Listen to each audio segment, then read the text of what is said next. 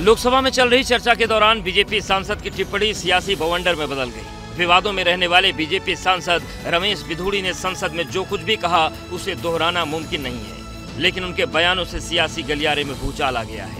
नफरत के बाज़ार में मोहब्बत की दुकान। अगर गली चौराहों पर दी जाने वाली गाली वहाँ दी जाएगी तो फिर संविधान लोकतंत्र में भरोसा कैसे बचे? इनको हमेशा हमेशा के लिए पाबंदी लगा देनी चाहिए।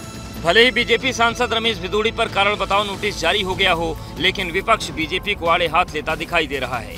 पार्लियामेंट हाउस तो बना है पर साथ में कोई फिनाइल भी खरीद के ले जानी चाहिए थी ताकि ऐसे ये जो दरिंदे हैं उनका दिमाग और मुँह उनका धो लेते ताकि बात करने से पहले उनकी जबान साफ़ हो जाती। असंसदीय भाषा का प्रयोग करना लोकतंत्र के लिए बहुत बड़ा घात है। लोकसभा में असंसदीय टिप्पणी को हेट स्पीच करार देते हुए विपक्ष ने बीजेपी सांसद रमेश भिधुड़ी के खिलाफ सख्त से सख्त कार्रवाई की मांग की है।